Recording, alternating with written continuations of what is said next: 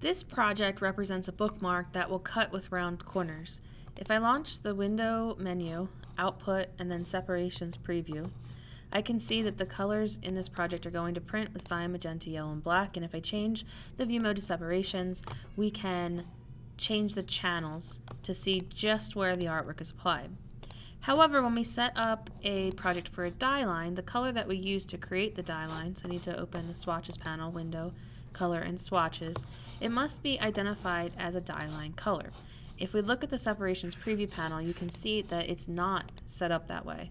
There is a die line when I turn the die line layer on and off, but when I select that item, see how none of the colors on the swatches panel are highlighted? It means that I just chose a random yellow color, but I didn't save it.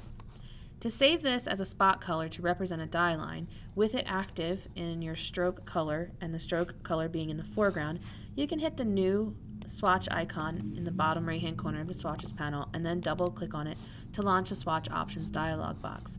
From here we can make it a spot color and we can rename it die line.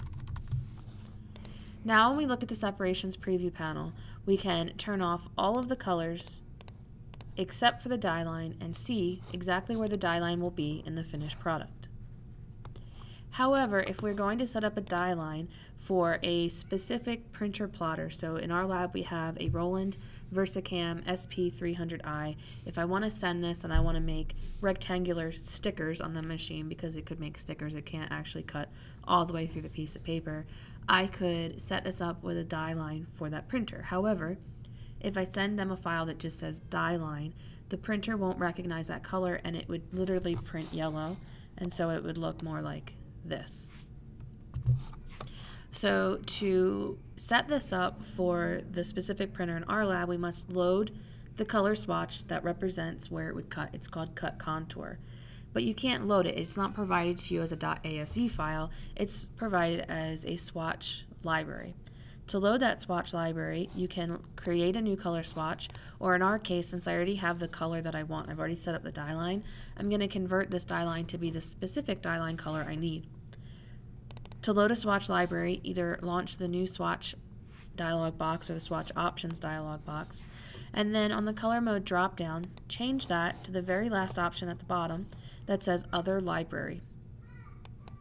When you select other library, if you have a swatch library on your computer, it'll be saved as a .ai file, and so you need to find where you've saved that.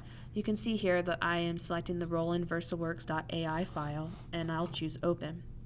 When I do this, it automatically redirects me to the Roland VersaWorks library, and if I hit that color mode dropdown, you can now see that I still have all these other swatch libraries that were already in InDesign, but if I scroll to the bottom, I will now have the Roland VersaWorks available.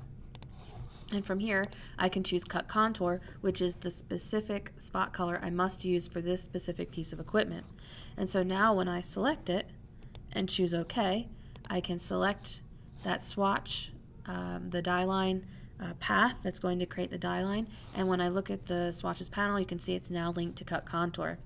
For this specific purpose, I cannot change it. I can't change the color and I can't change the name because the machine will only recognize this specific swatch as a spot color. And then if we check it again, we can go back to the separations preview panel. You can turn off CMYK, which is how all the color will print, and then we're left with a die line that just represents the path on which the machine will cut.